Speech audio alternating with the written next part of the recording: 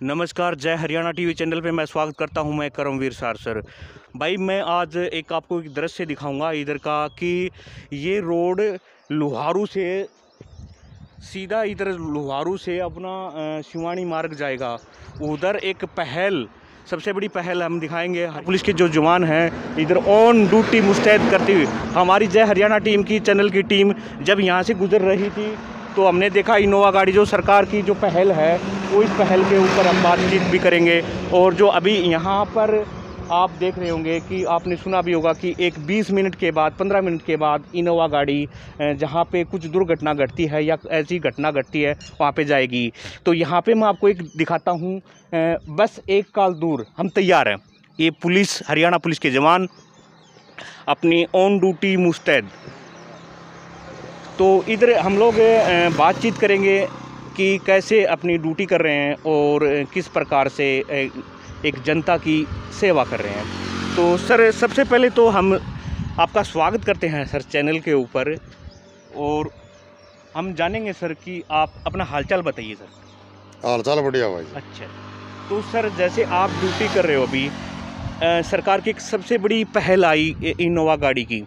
ठीक है सर?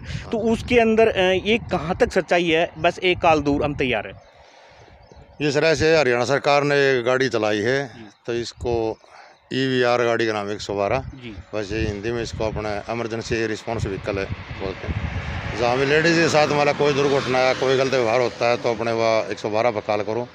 तो एक सौ बारह पर कॉल आने के बाद हम पंद्रह बीस मिनट में गाड़ी आपके पास पहुँच जाएगी। और जो कोई आग लग जाए उसके लिए भी। तो सर और- जैसे जैसे इंसान अपना जनता है वो 112 नंबर पे जो कॉल करेगी सर तो क्या वो तीनों जगह पे डिस्कनेक्ट होगी एक जगह जाएगी फिर? वो ऐसे जी एक जगह जाएगी। तो वहाँ आपसे पूछा जाएगा कि भाई आपको क्या दिक्कत है। वो फिर वहीं से आप उसको कॉल डिवर्ट कर देंगे। बस जिसने आपने भाई फायर की ब्रिगेड की ज़रूरत है उसमें भाई आपने इसकी ज़रूरत अपने एक सौ बारह की तो इस पर पुलिस की सहयोग की ज़रूरत है तो इस पर कर देंगे। और अगर एंबुलेंस की ज़रूरत है तो एंबुलेंस के ऊपर। जनता जनार्दन को बताना चाहेंगे जैसे उनका कॉल जाएगा 112 नंबर पे तो जैसे उनको एंबुलेंस की अगर ज़रूरत है तो एंबुलेंस को हाँ। मिलेगी उनको। मिलेगी हाँ। जी। और सर जैसे सेफ्टी गार्ड रहता है कुछ हाँ जी। आप लोग भी सेवा दे रहे हो तो सर आपकी कुछ सेफ्टियाँ रहती हैं? जैसे आप गाड़ी लेके जा रहे हो आपके पास कुछ सेफ्टियाँ नहीं होंगी तो कुछ है आपके पास सेफ्टी हाँ सेफ्टी हमारे पास है जी सरकार ने दी हुई है। अगर रोड ब्लॉक हो जाता तो उसके रास्ता खोलने के लिए है। कहीं एक्सीडेंट हो जाता तो उसके लिए राड वगैरह वगैरह आ रही है हमारे पास सारी चीज़ें। थोड़ा सा मैं इधर आइएगा कैमरामैन से कहना चाहूँगा।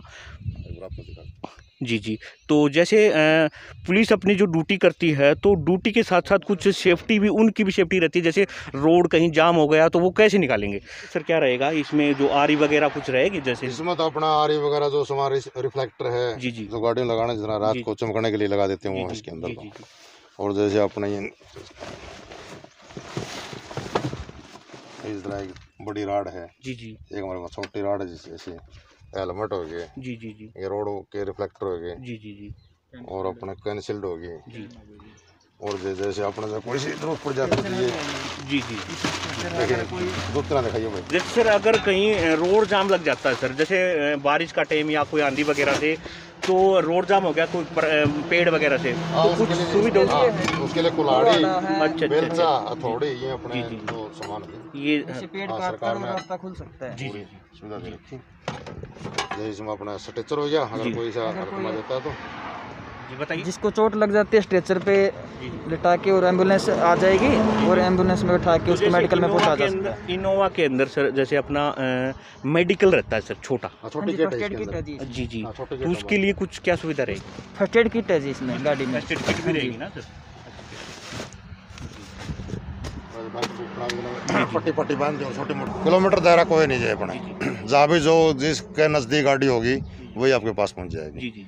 मान अपने ज़िले का जिस तरह अपने वाले में थाने का वो कोई कुछ नहीं। जैसे अपने जो गाड़ी वहाँ से लोकेशन देखेंगे हो, जी भी गाड़ी आपके नज़दीक होगी वो फ़ौरन आपके पास वही पहुँचेगी जी जी जी। तो हरियाणा के अंदर कितनी गाड़ियाँ दी हुई सर छः सौ चालीस गाड़ी आई। छः सौ चार तो देखिए हरियाणा सरकार की एक पहल है, वो कहीं ना कहीं कामयाब नज़र होती नज़र आ रही है कि जो अभी गाड़ियों, इनोवा गाड़ियों का अंदर, जो भी लोकेशन के अंदर इनोवा गाड़ी रहेगी, जहाँ पे दुर्घटना घटती है तो वहाँ पर जल्दी से जल्दी गाड़ी पहुँचने का जो काम होता रहेगा।